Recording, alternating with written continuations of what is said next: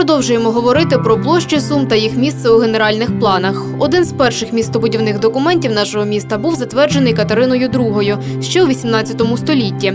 І засновувався він на принципі радіальної системи, коли місто забудовували поверх вже існуючих вулиць та природних ландшафтів. Если мы обратим внимание на этот первый генеральный план, официальный, который был первый, съемка сделана. И э, такие генеральные планы, я скажу, я видел и в том же Белополе, и в Недригалове, когда вот под низом, под съемочки мы видим э, существующие на то время улицы, э, которые э, как бы вот в то время казаками, поселенцами э, больше принимали условия рельефные, природные, ложбинки, ямки, и по- подчеркивали вот такую его природную э, составляющую. То вот сверху четко, несмотря на какой есть Тетров, есть ли какое-то там э, ландшафтное изменение или еще, тупо, вот радиальная система, у нас есть историческая часть цитадель, вот даже на этих схемах еще отображена та древняя крепость, которая была еще Кондратьевым основана, и на ней радиально делаются вот такие направления, радиально распределяя город. В трех направлениях между тремя реками, и которыми, в принципе, э, потом сформировали.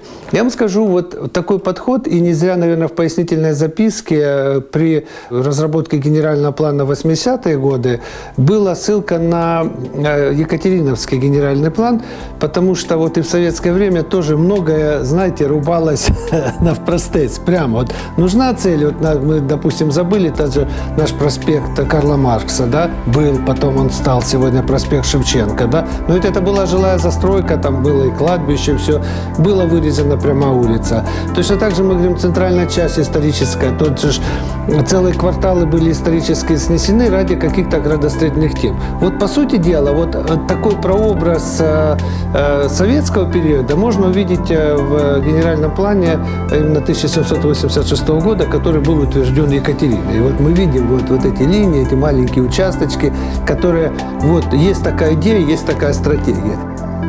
Саме радянський період була фактично забудована Троїцька площа, яка оточувала величний Свято-Троїцький собор. Вона простягалася по обидва боки собору. Згодом у 50-60-х роках тут з'явилися кількаповерхові житлові будинки.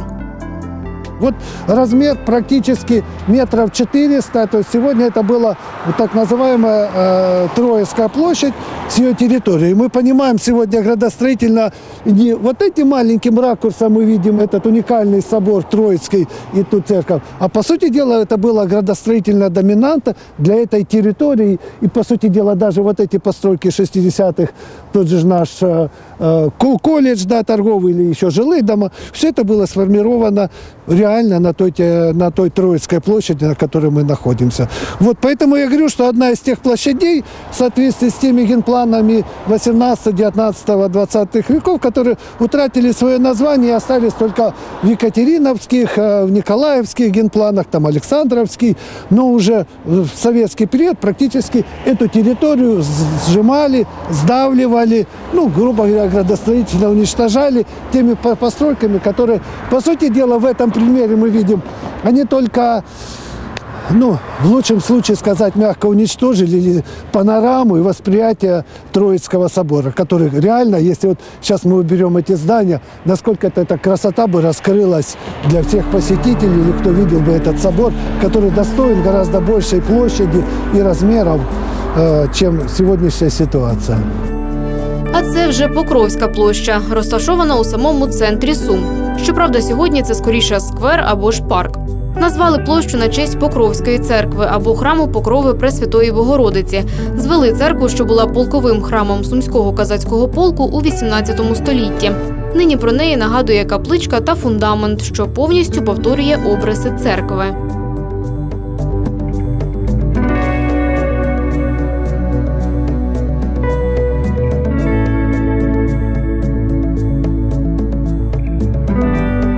Дальше э, вот в той части находилась колокольня, тоже не менее интересно построена уже архитектором Ярославским, э, пятиярусная, с колоннадой. Ну, они про нее меньше говорят, потому что в основном на фотографиях Покровский собор, и который был в 1932 году взорван, разобран.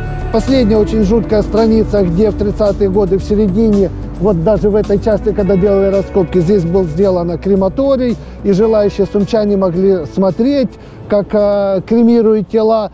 То есть очень такая страшная судьба. Но, кстати, Покровский собор был включен э, в те соборы национальные, которые должны были быть э, восстановиться, э, отреставрировать. Но сама градостроительная ситуация не позволила это сделать. И э, вот в память о ней, то есть мы восстановили эти фундаменты, которые трассировка так называют. И на месте алтаря вот поставили такой знак, чтобы сумчане помнили об, этой, об этом соборе.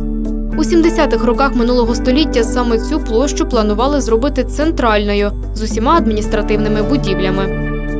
Но медленно и уверенно площадь перешла на улицу Соборную со сносом десятков э, домов, памятников э, на то время, не, пусть и не архитектуры еще не признанных, но, в общем-то, мы здесь появили парк, но там было практически уничтожено четверть исторической части города. Продовженням Покровської площі була площа Базарна. Вона була найбільшою у місті, адже саме тут збиралися на закупи та ярмарки з усіх навколишніх міст. Сюда мы смотрим Суджанское или Московское направление. По Ильинской это направление Старопутивский шлях. А, сюда сверху это Белгородское, Харьковское направление. Сзади нас э, находится так называемый шлях Лебединский, он всегда назывался. Вот. Чуть-чуть левее туда смотрим, это что получается, это киевское направление. И вот реально мы видим вот эту географическую ось, которая соединялась здесь. Самое прибыльное, самое интересное место, это зачем? Базар, ярмарки, ярмарки были линские, э, ярмарки были практически субботние, но, по сути дела, географический центр, который давал возможность выжить суммам э, в основе других городов. Ведь надо понимать, что даже еще на всех генеральных планах, которых мы смотрели еще за царские часы, это был уездный город. Сзади нас и часть этой территории, так называемые кеннинговые были, э, там амбары или хранилища, Верхняя часть появились кирпичные постройки для торговли э, мясом, молоком, э, э, творог. То есть вот эта часть появилась. А здесь были обычные вот эти повозки, которые собирали людей.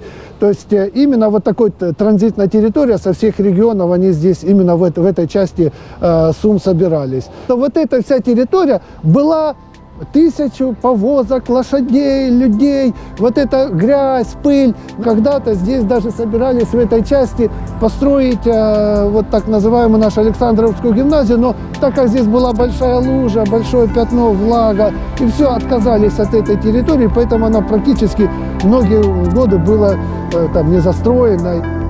Та й цю ділянку все ж забудували тут і магазини, і кіоски, і ринок, і все досить хаотично. Вот этот массив, как Покровская и как Рыночная площадь, были самыми крупными в Сумах э, многие годы. Сейчас мы понимаем, что э, назвать, что это э, рыночная площадь, от нее ничего нету. Ну, надеюсь, вот появится, мы стоим с тобой сквер счастья. Не знаю, счастье он или его оставили название или нет. Роки існування цієї площі у вас? ну, практически она, начиная с создания города, с 17, 18, 19, 20, вот, да, да, послевоенный тоже это, по сути дела, была площадь, рыночная торговая площадь.